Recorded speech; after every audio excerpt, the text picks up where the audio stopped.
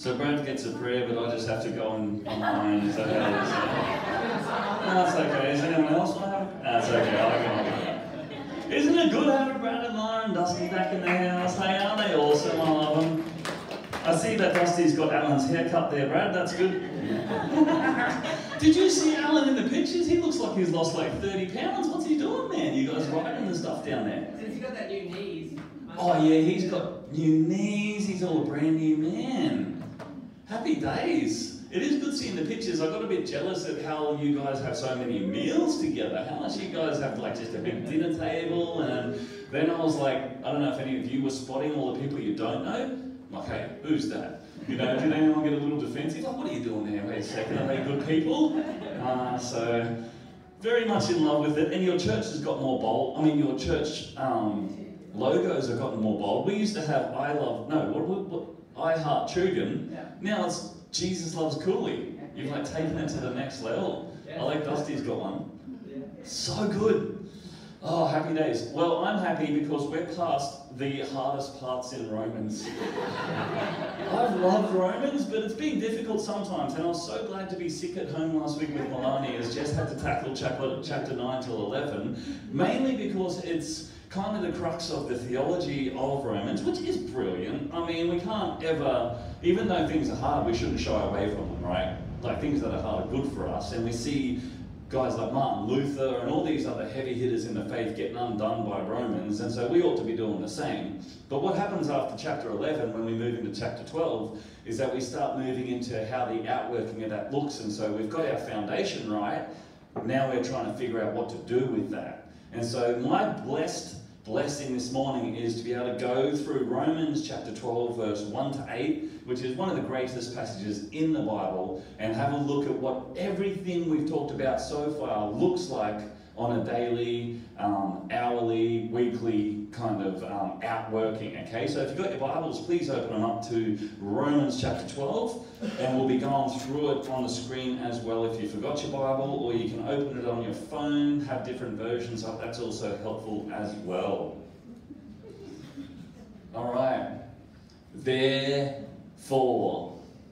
all right, after talking about, you know, how the Israelites and the the culture amalgamated and the Jews and the Gentiles and what happened there and everything else, all that good theology we've been covering, he says, therefore, therefore, I urge you, brothers and sisters, in view of God's mercy, to offer your bodies as living sacrifices, holy and pleasing to God.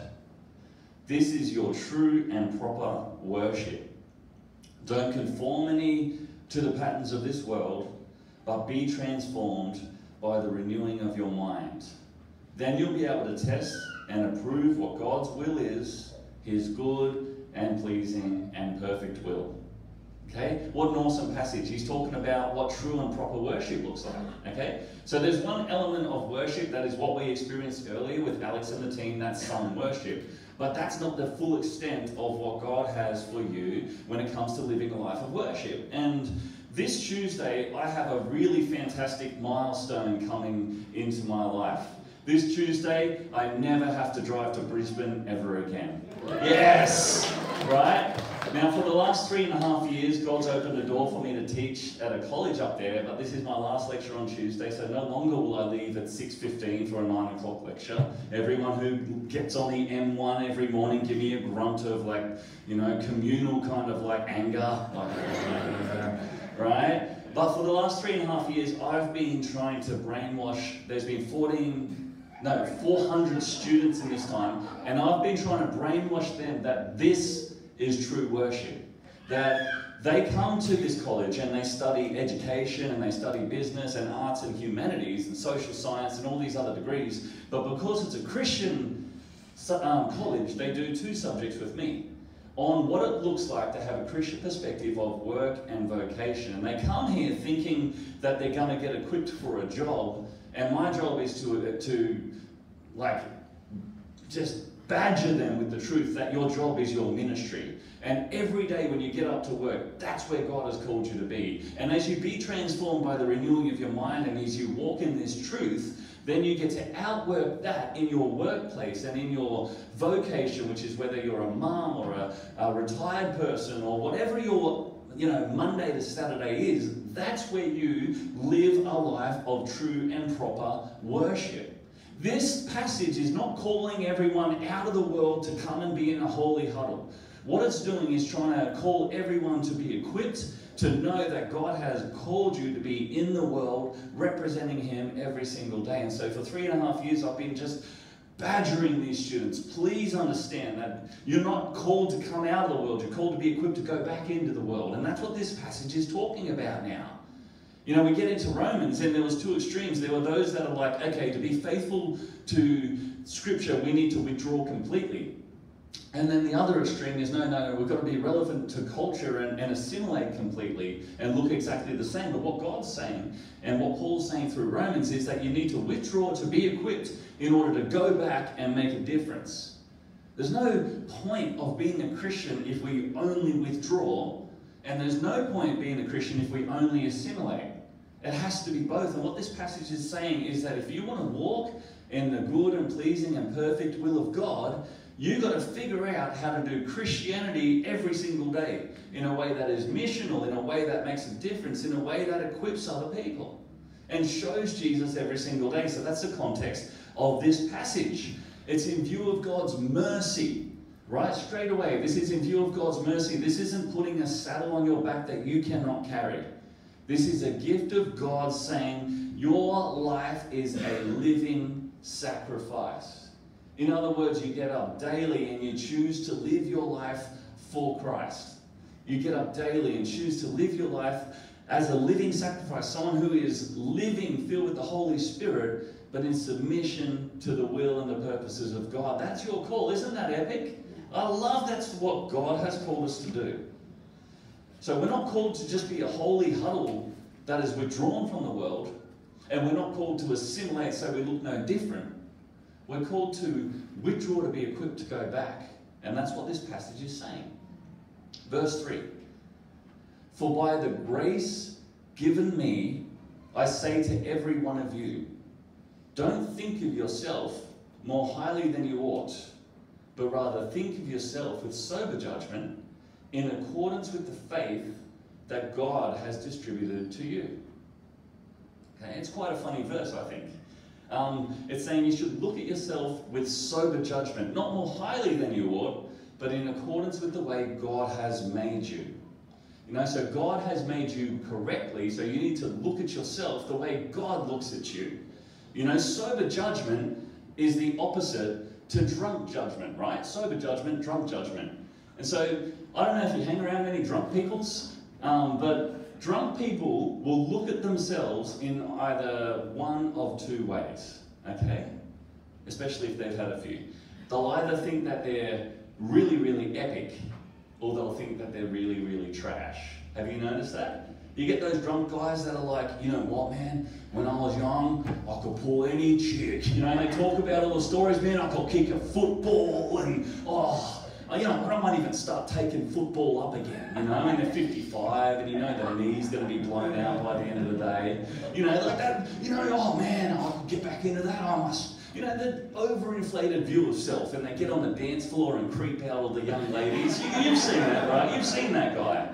His name's normally Doug or something. Sorry if you're a Doug, right? But that seems, if there's any duds in the place, I apologise. So there's one extreme, drunks think they're really like, you know, epic. Or there's the other side where they're like, nobody loves me.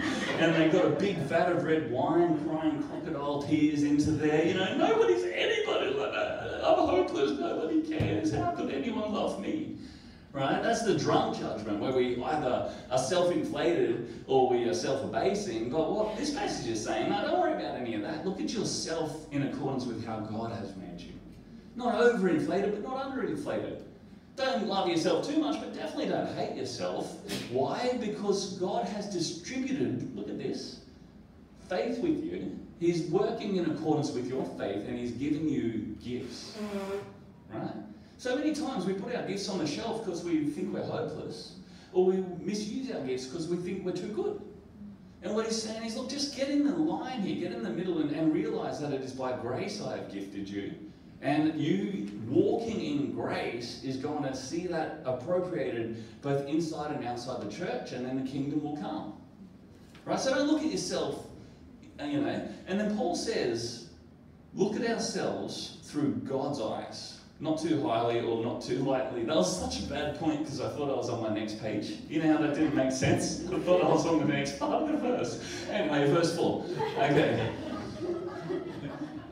So, just as each of us has one body with many members, and these members do not all have the same function, so in Christ, though many form one body, and each member belongs to all the others. Okay, this is kind of zeroing in on one of the main points of this passage. Okay, the body of Christ is seen as a body with many members. Okay, that's like what we look like when we gather together, not just on Sundays, but all the time. And these members do not all have the same function. One of the best things about being in the people of God is that you're not expected, nor required, nor called to be the same as anybody else. If you're the same as anybody else, that doesn't make sense. Like, what, what kind of a person would have eight feet? You'd be like, that's a freaky person. You don't need eight feet, you need two feet, two hands. And if all the parts of the body are working together properly, then the body functions the way it should function. And one of the misunderstandings and the, I think, greatest sins of the Western church is trying to make us all the same in the name of unity, but God's not calling us to uniformity. He's calling us to unity with diversity. Yeah. We're supposed to be different. We're supposed to have different overflows. We're supposed to look different and use the gifts that God has given us to impact the world every single day. I remember a couple of years ago, Grace, hold up here. I'm very comfortable today, right? I remember a few years ago we went to a church Dadsy was going to, and I won't name it back in the day. And halfway through the sermon, Jess leans over to me and goes, Oi, Pastor so and so looks a little bit different today. And I just lost it laughing because it actually wasn't even Pastor so and so, it was his underling. And so she, this, the second in charge guy looked and acted and behaved so much like the first in charge guy that it took her half a sermon to realize that it was, she didn't even realize it wasn't him. She just thought he looked funny that day, right? We do this in church. Here's the truth God isn't calling us to be the same. And the quicker we understand that, the more effective we'll be in society. You know, we are different and we should embrace that because God has called you to participate within the kingdom and within the world. And only you can do what you're called to do. Verse 6 We all have different gifts according to the grace given us. All right? We all have different gifts.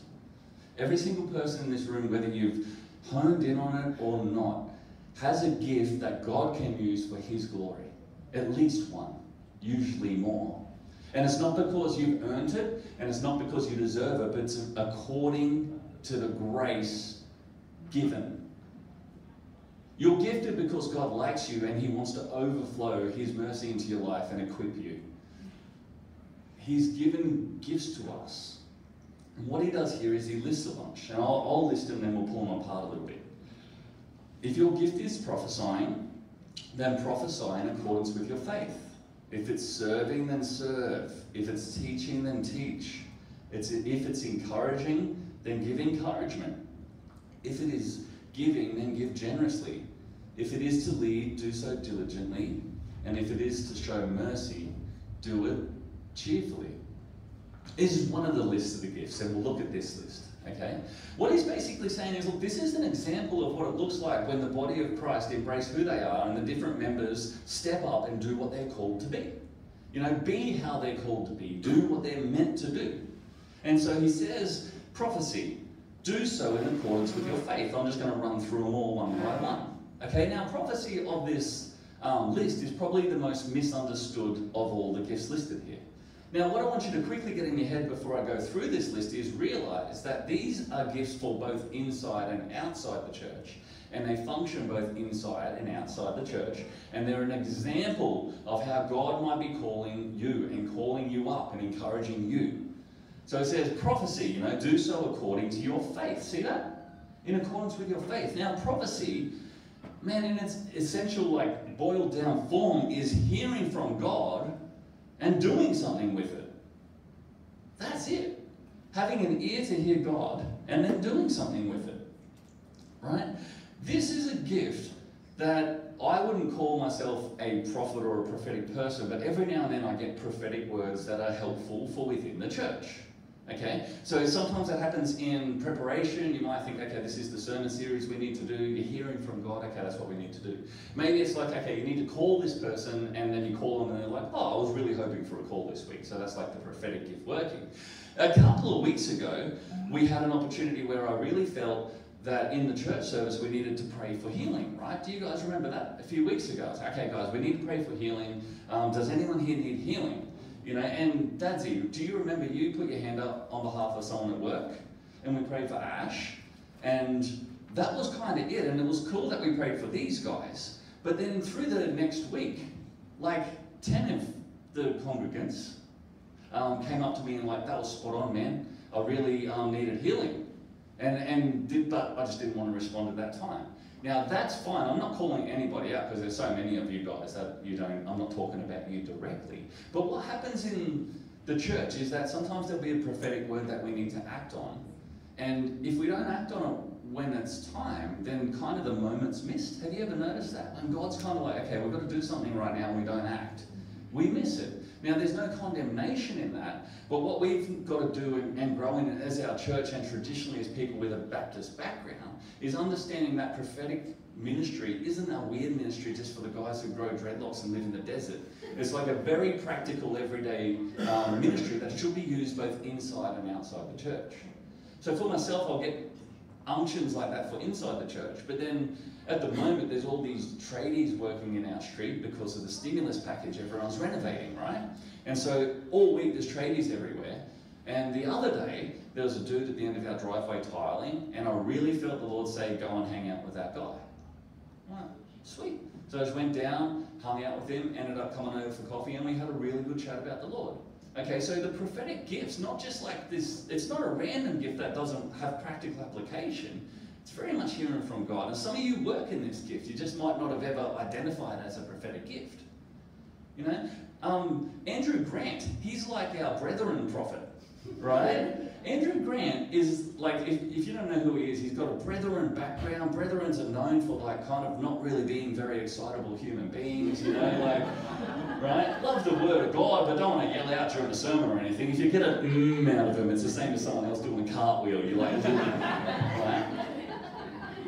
But Andrew can look at a system. His prophetic gift is for them now. He can look at a system and go, this is what we need to tweak. He just looks at it and he knows.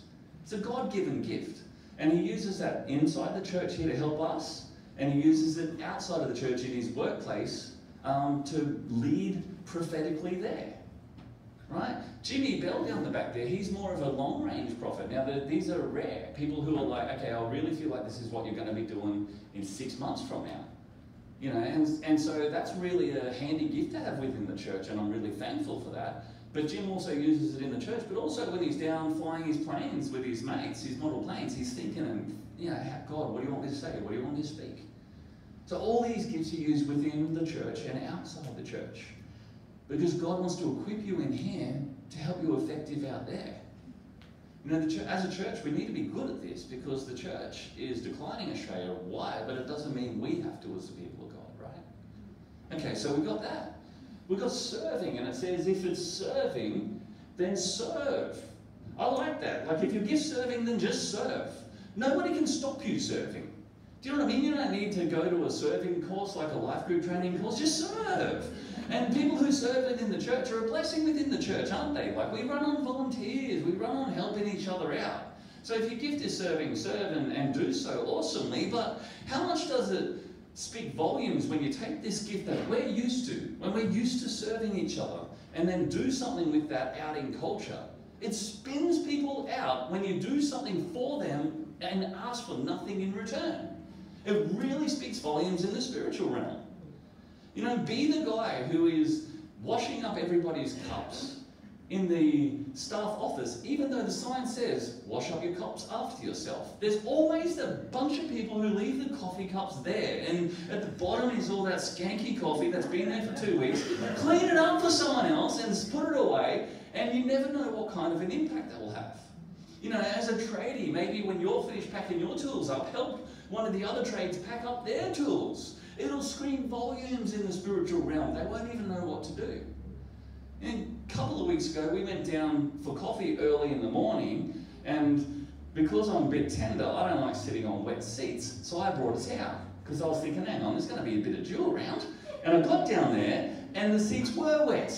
So we wiped them off, and we all had our dry seats. Okay, and we were sitting there enjoying our coffee. It was about six in the morning, so it's cold, but like a nice warm seat came. It was good. Anyway, there was this other guy who turned up, and he was trying to do this to his seat. You know how you know how your hands knows how?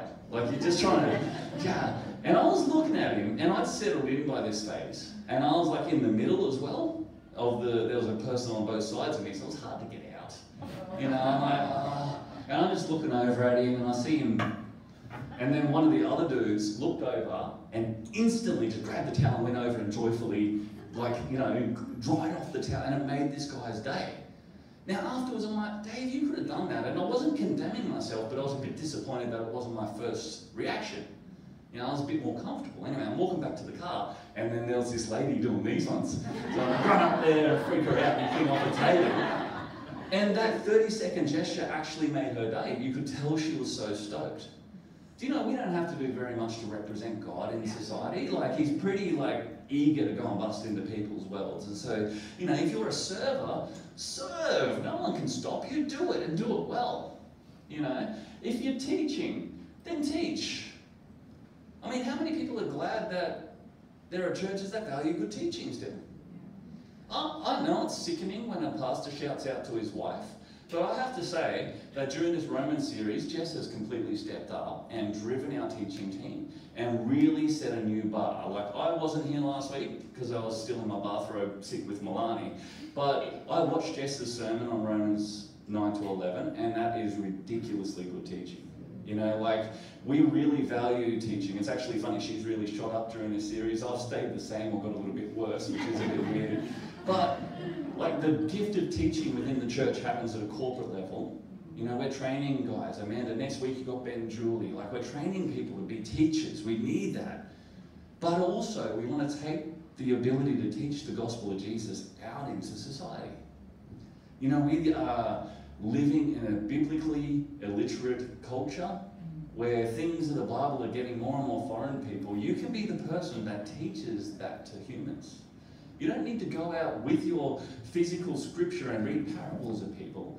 Have the Word of God written on your heart so when you're out and somebody asks questions, you're teaching the Bible. Maybe you don't say Romans 8 7 says this, but maybe you get to teach biblical principles. Maybe you get to represent Jesus. Maybe you get to show his kindness and love to humanity. You know, people who have the ability to teach should teach. If your gift is teaching, then teach. You know, and even on another level, like people who have a vocation of teaching, of education, literally are some of the most effective like ministry people in society where you've got 30 people to disciple for an entire year. Teachers are so important to children. And if you're an educator in this room, you're walking out the, the, the gifts of God in your life. You know, He has called us to all these different gifts.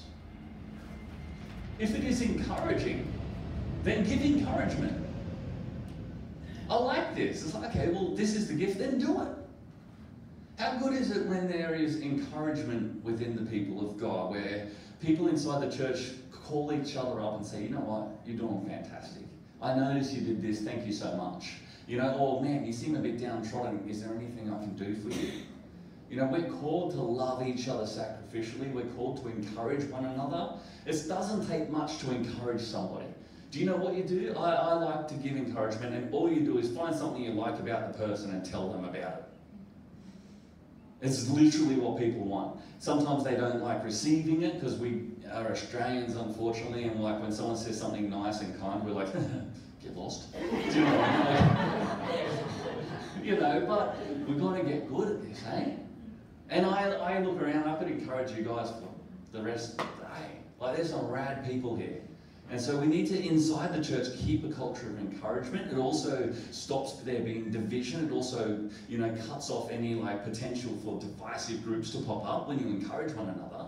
Um, but also, you take that into society and you encourage people outside the church. And man, I tell you, people are itching for something kind to be said about them itching for someone to get alongside them and not rip them down and not point out their failures and not get on their Facebook feed and be negative, but just to speak words of life into them.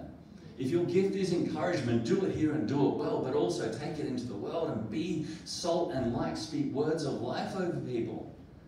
Like, this is what we're called to. This is part of being the body, is participating in something that's essentially quite fun. Yeah. Right? Giving right? If it's giving, then give generously. You know, inside the church, we run on generosity. You know, that's how churches are financed. We're on generosity. We're run because people are convicted by God that this is somewhere to sow seed and they do so generously. And giving generously to the church is a, a, really essential and it's a really vital part. And it's a discipline and it's a biblical principle. So, everyone who gives, awesome. If you don't yet give, no condemnation. Just do some business with God about why that is. You know, think that through. So, inside the church, generosity is a vital gift. And it has practical outworkings. Has anyone noticed how rad our um, playground floor is?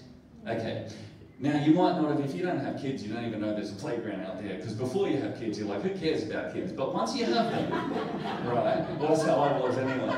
Uh, but we had a, um, we had a floor on the, on the playground that was tripping people over. Like it was dog earing up, and the kids would fall, and every now and then a mum as well. And though that's funny on YouTube, it's not very practical. Like, um, so what we did was put down a proper professionally laid, um, you know, according to all the guidelines, specifications, and it was more expensive than if we did a dodgy thing ourselves.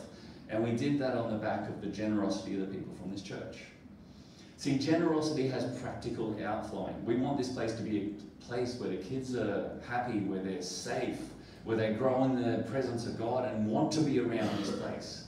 Remember, I don't know if anyone grew up in the church where you were a kid and you dreaded going there because you knew you were going to get yelled at and there was no play equipment and you get in trouble for picking your nose and everything else, right? There was no fun and the biscuits were horrible. You didn't get the good biscuits like the adults and you had that watered down cordial, right? We don't want that.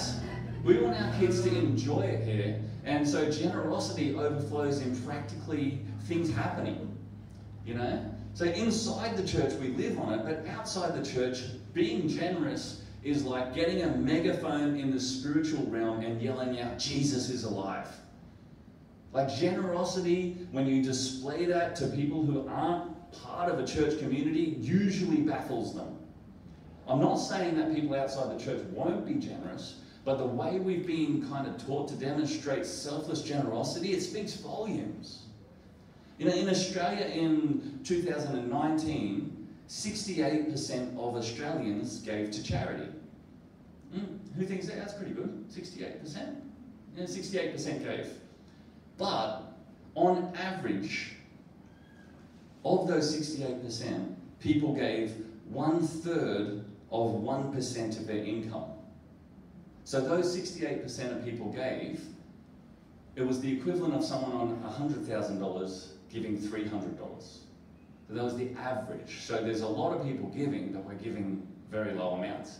If you've got to um, want to get more into this, look at some interviews with Tim Costello um, on the Today Show when he was finishing up as the CEO of World Vision. Some amazing stats, right? So, like, though we give percentage, the 68% of all Australians give, 300 bucks a year when you're making 100 grand.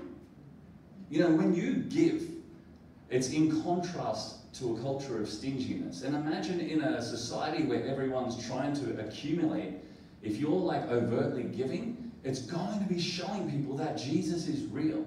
It's putting money where your mouth is. You know, we can say all day long we want to be generous, but if there's no evidence of it, then we're just saying it. We're not living it out. And so it's a blessing. So if you're a giver, do so generously. If it is to lead, do it diligently. If you've got a position of leadership within the church, be diligent with it. Just be diligent with it. If you've got a life group, lead it well. If your little place of leadership is welcoming people and helping someone else out, then just do that well. You know, when our food roster comes back after this mystery illness leaves, right? Then, you know, if you're on baking that day, bake well. You know, if you lead a, if you are a leadership team or eldership, do it diligently.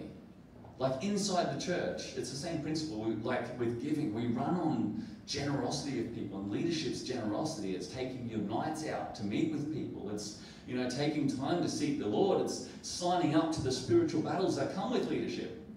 And so this passage is saying, if you're called to lead inside the church, do it diligently, but also outside. You know, if you're a boss or you've got a position of leadership outside of the church in culture, you're going to be held accountable for how you treat your employees and how you lead your organization. And it is an opportunity to set yourself apart as someone who represents God or just confirm that you're just another Christian hypocrite like everybody else they've ever met. You know, we've got this opportunity. If God has called you to lead, if you've got staff, if you've got employees or you're, you know, contractor or whatever it is, if you do so diligently, like generosity is screaming, Jesus is real. See how this works? I get pumped by this stuff because it means we're all participants in seeing the kingdom come. We're just got to recognize what we're built for and do that. And then lastly, if it's to show mercy, do so cheerfully. Showing mercy is giving compassion or forgiveness to someone even though you have the power to punish them. Mercy is choosing not to enact your right to punish. That's what mercy is. Now, you've been shown mercy because Christ could have, you know, enacted any justice on us at any time and he shows us mercy. But when we show mercy to each other, both inside and outside the church, it speaks volumes about the kingdom of God. Showing mercy inside the church is letting somebody off when they're rude to you because you know they're just going through something. Not holding them to account. You know, you were mean to me. Just let it go. Showing mercy cheerfully, cheerfully letting someone off the hook before they even ask for your mercy. That's what mercy is, not taking up our rights, not standing on what we deserve, right? That's what mercy is. If you've ever shown mercy inside and outside the church, it, it speaks volumes. I was the recipient of mercy once when I was driving after a fight with Jess and I touched another car with my car. I was pulling into the service station. I don't know if I told you this. Um, but it wasn't this car, it was the white car a few cars ago. Okay. And so I was pulling into the service station at, uh, at the entrance to Palm Beach Ave there, right near the police station, which made it a bit more scary. There's a little police beat there. Turned too early and then clipped the front of this guy's car.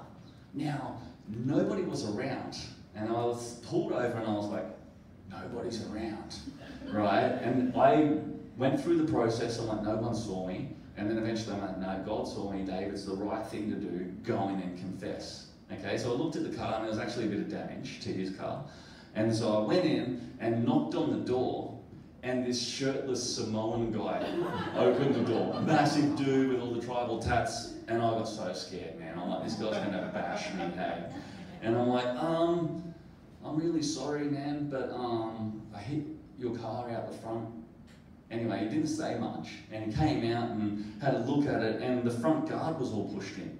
And so he just like reaches down with his big Samoan biceps. I'm like, man, they're gonna crush me in a second, and just pulls it out and just looks at me and goes, "No worries, bro, it's alright."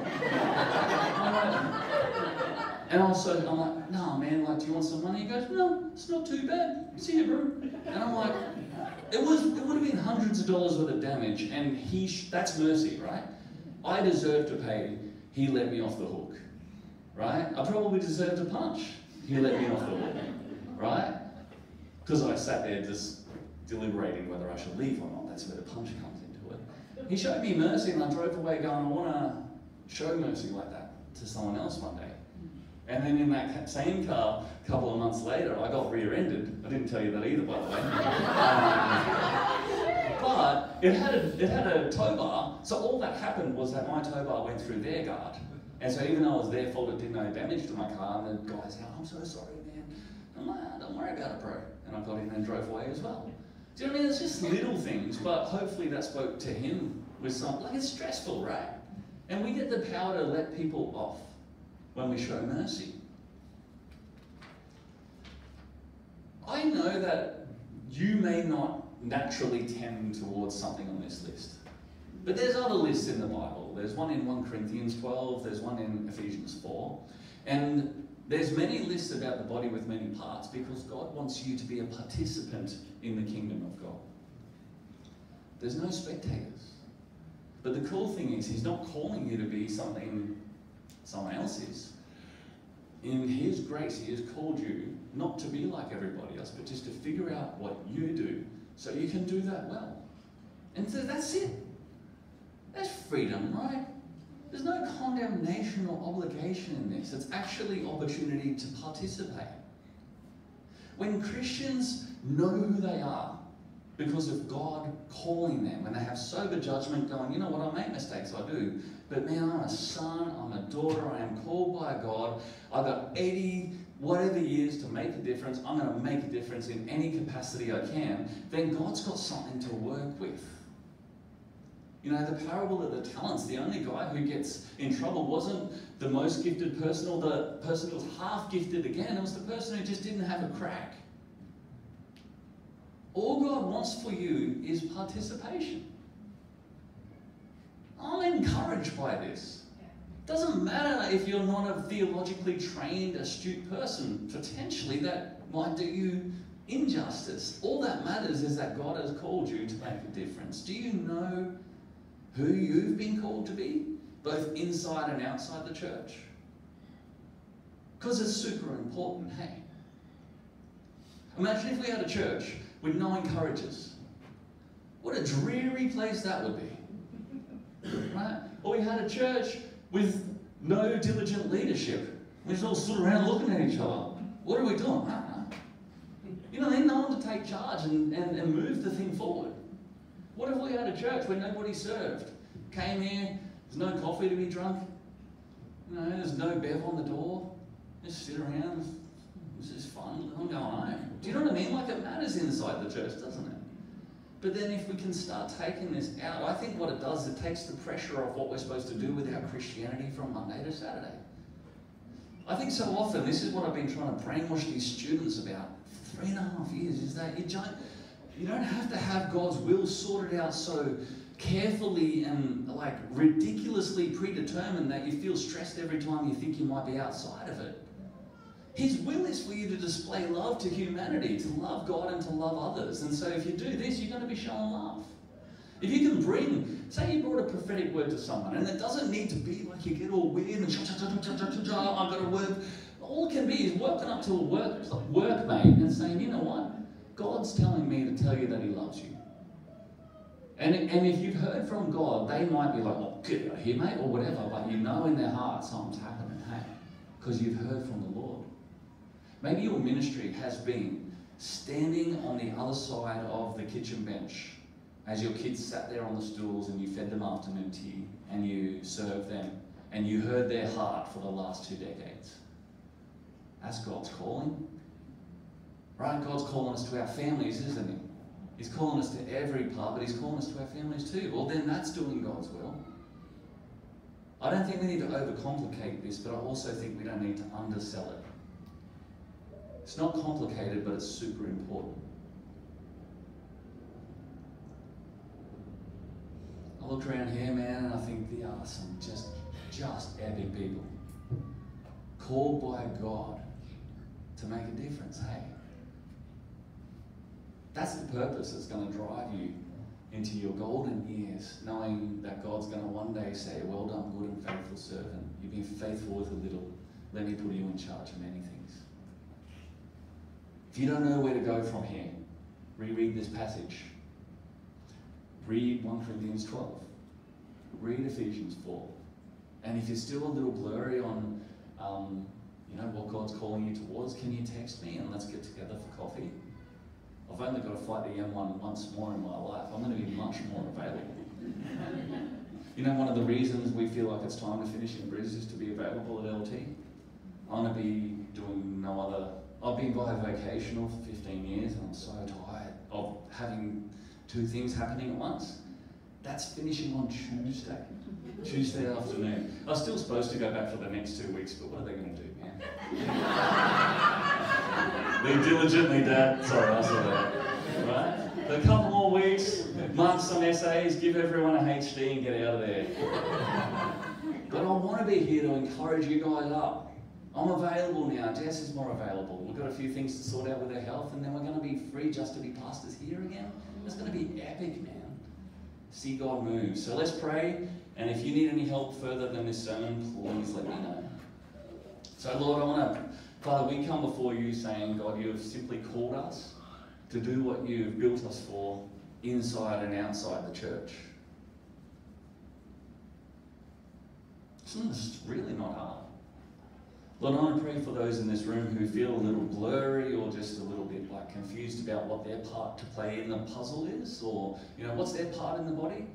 Father, will this week do some ministry, Lord God. Would you show them where they belong, what they're good at, what they could and uh, bring to the table, um, not just in the church, but to the kingdom table, Lord God. You say you lay out a feast before us in the presence of our enemies, Lord. And I just feel like that's just an opportunity for us to sit with people and just be, be your representatives, Lord God. Father, help um, help us get this balance right, the inside and the outside, the you know, the inward and the outward. I thank you, Lord God, that there's no condemnation. Father, that this isn't to beat ourselves on the back with a whip. This is to, to start seeking your face and uh, maybe even be reinvigorated with uh, what we're called to. You know, reinvigorated for the kingdom. Lord, I pray, you know, maybe some of us has felt a bit jaded with just church and stuff in general. Well, I pray that this might, you know, bring a bit of life back. Lord God, some uh, excitement about what it means to be followers of the King. And, and mission, you know, outward focused ambassadors of the kingdom here on the Goldie.